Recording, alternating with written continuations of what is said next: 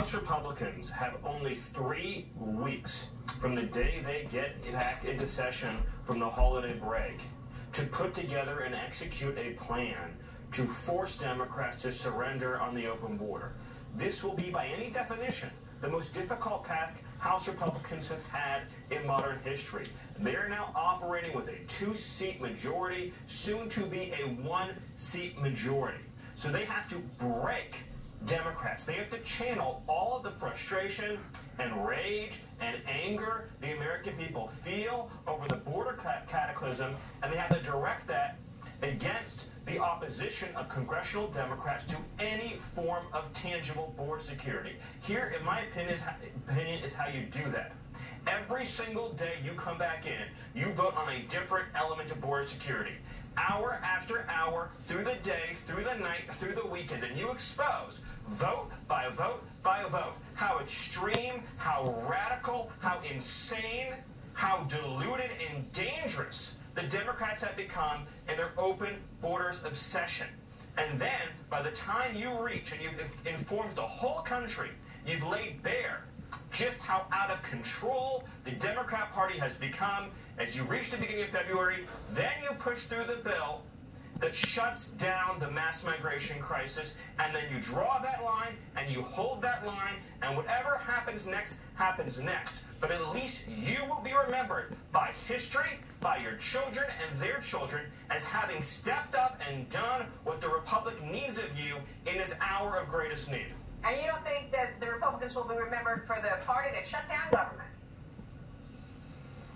They will be remembered not just now, but they'll be remembered for generations to come if they make this stand of having realized that Joe Biden's open border is the end of our republic. Absolutely. Our republic cannot survive with this pace and this scale Folks, and this, speed this should be listened to and followed through on.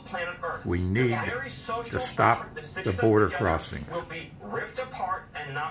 if we want a country. You're feeling it firsthand in Arizona. Tell us what you're seeing.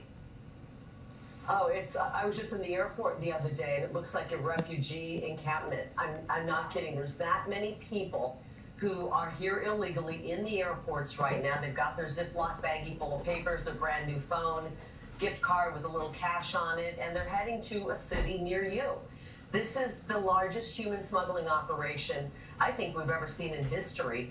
And our U.S. government, our tax dollars are funding are paying for it. While we're it. broke. We need to get our Republicans together, and we can't lose a single vote.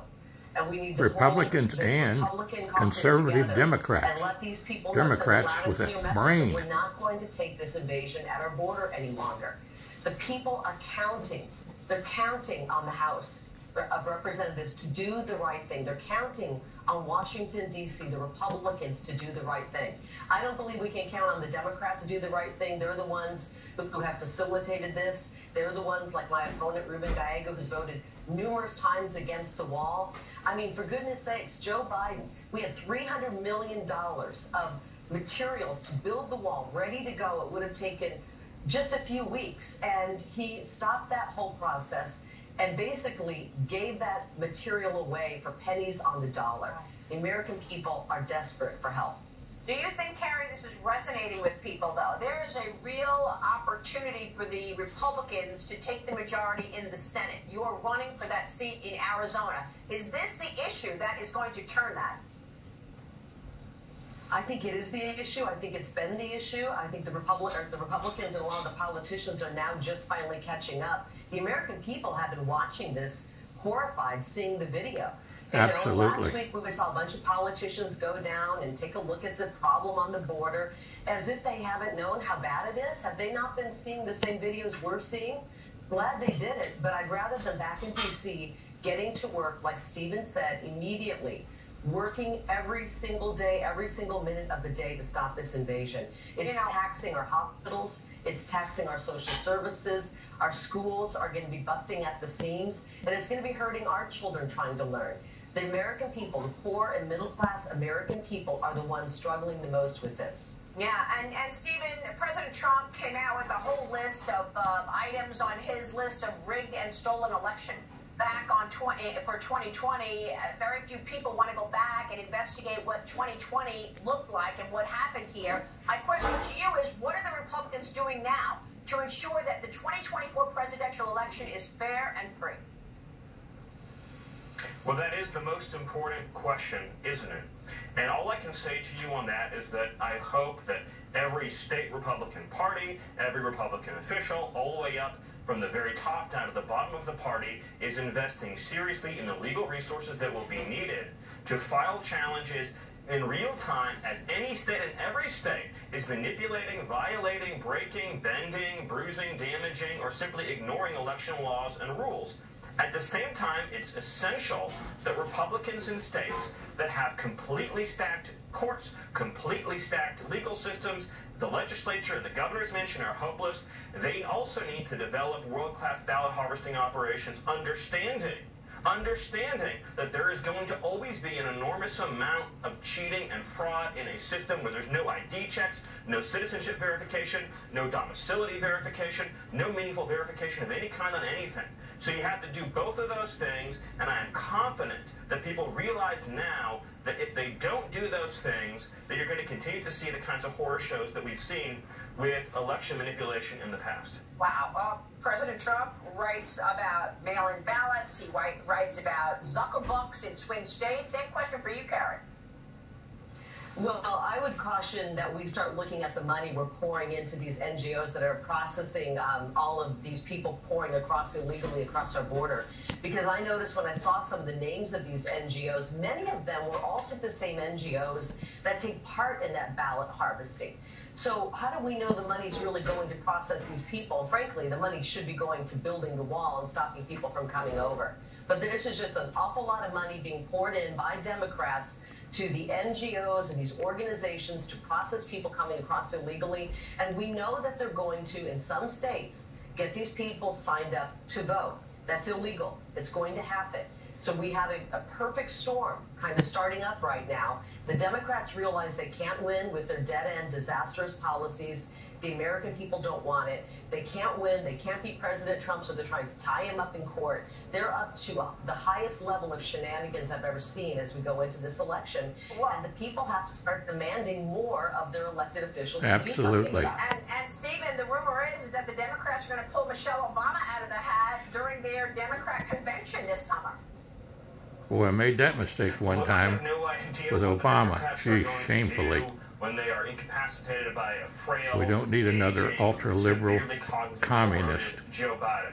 But what we do know is that we are witnessing election interference now in real time on two fronts. They're trying to imprison, bankrupt, and destroy Donald Trump using the awesome power of the state like something out of a failed third world country.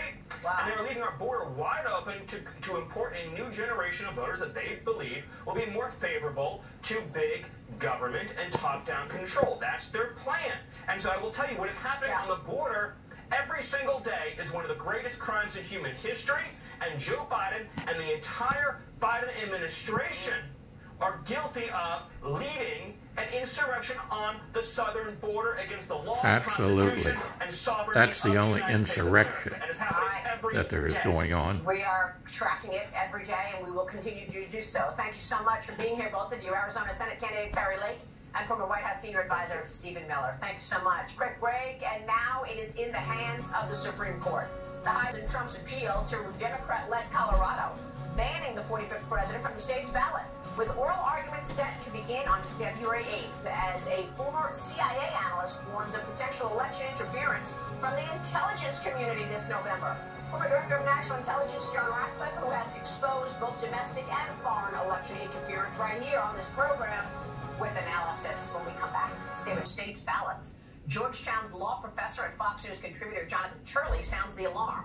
Writing in the New York Post, it's not just Trump Democrats are moving to bar Republicans from ballots nationwide. Joining me right now with more on all of this is the man who first warned of potential election interference this November on this program, former Director of National Intelligence, John Ratcliffe. John, it's great to see you this morning. Thanks so much for being here. You bet. I want to get your take on the intelligence community interfering in the election and these prosecutors. First off, take on Jack Smith The last time we spoke about the special counsel, you said he had a Mueller moment. Uh, I did. So, Maria, you know, we expect uh, foreign adversaries like China to interfere in our elections.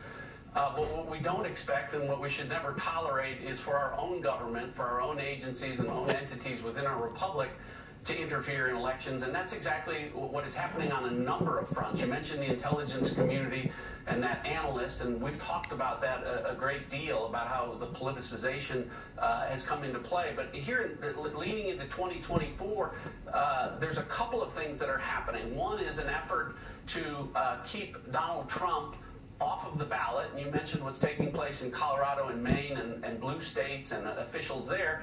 But then there's also uh, the effort to keep Donald Trump off the campaign trail. And that's what Jack Smith is doing in what I think is just a nakedly political and partisan uh, prosecution.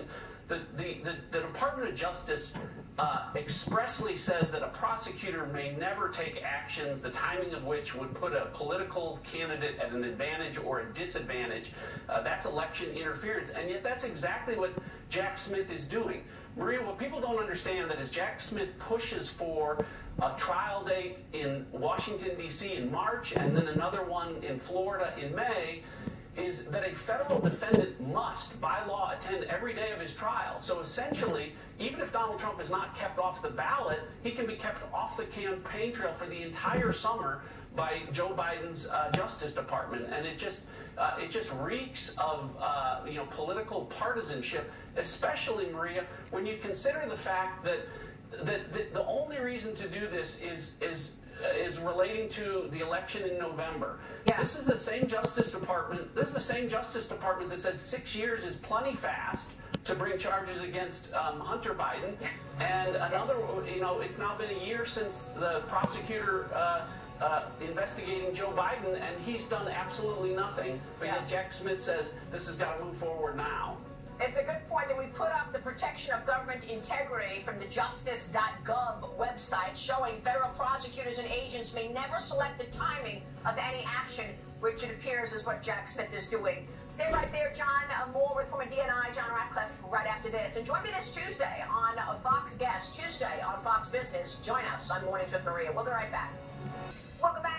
Back with the former Director of National Intelligence, John Ratcliffe. And John, you've talked a lot about election interference, both foreign as well as domestic. We talked about Jack Smith. I want to get your take on how the Supreme Court is going to rule on this immunity case, but also there's China. China, you say, uh, did uh, meddle in the 2020 election and will do it in 2024.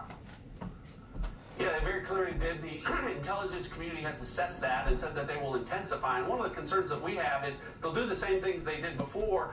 But Maria, there's been a 1,000% increase in the number of Chinese nationals coming across our border. 5,000 uh, were caught just in the month of, of November. 85% of those are single men of military age. So the real question there is what percentage of those are here on PLA or PRC orders to intensify, as the IC says, efforts right. to interfere in the election? Um. With respect to, to yeah, with respect to uh, what's happening with Colorado, look, Jack Smith, who's the most aggressive prosecutor, as I talked about, even he couldn't bring charges for insurrection against Donald Trump. So when a federal grand jury passes on it, but the state of Colorado or Maine or anyone else says we're going to come up with our own process, make our own determination, that's why the Supreme Court took this up and why the Supreme Court will strike it down. All right, we're going to be watching that. This is important. John, good to see you. John Ratcliffe joining us. Thank you so much. That is it for us, the Sunday Morning Futures. I'll see you tomorrow on Fox Business. Stay with us right here. Morning.